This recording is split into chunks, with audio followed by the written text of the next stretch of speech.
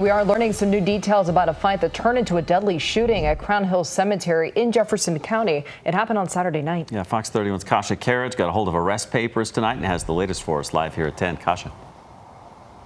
Erica and Jeremy, the Jefferson County Sheriff's Office confirmed with me that the cemetery was closed at the time of the shooting on Saturday night, but it's not known just yet if the gates were closed at that hour as well. Now, court documents say a fight broke out as a group of friends were visiting another friend's gravesite after their birthday. The suspect is accused of shooting the victim, 20-year-old Giano Chavez, who later died. A woman involved in the fight was also treated but released from the hospital. I spoke with the Jefferson County Sheriff's Office, who put a perimeter around the cemetery to to look for others hiding inside after the shooting.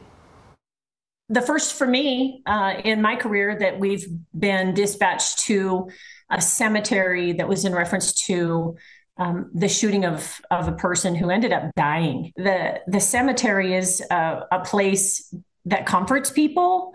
Um, oftentimes, it's a place to go visit someone that that you've lost, uh, but it's not typically a place of violence.